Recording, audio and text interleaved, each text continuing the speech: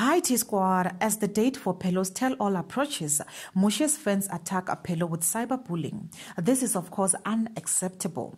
Uh, troops are convinced that Moshe made Phelo. Therefore, Phelo is ungrateful for wanting to tarnish Moshe's name. A tour arised as fans are refusing to have Phelo's work discredited. One tube even made it known that Phelo was part of the Bala brothers and once a part of the joyous celebration.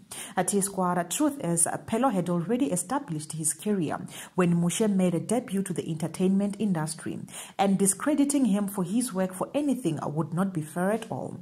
Phelo posted a picture of himself with another gentleman whom people believe is romantically involved with, and that could only mean he has moved on. He also posted a recent picture while leaning on a neck of a man captioned, Change is good. Mm.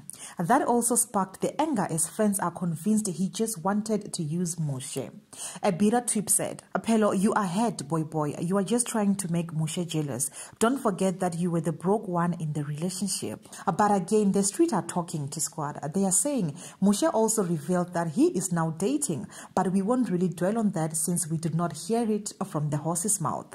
The two separated in a very bad way that included a physical assault allegations. Since then, Moshe has said a part of his story, leaving Phelo to defend his.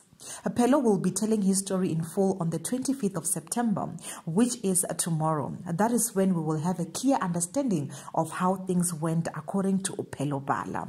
Uh, Squara, what do you think about this? Do you think Moshe Ndiki made Phelo Bala? Do leave your comments down below. I love you.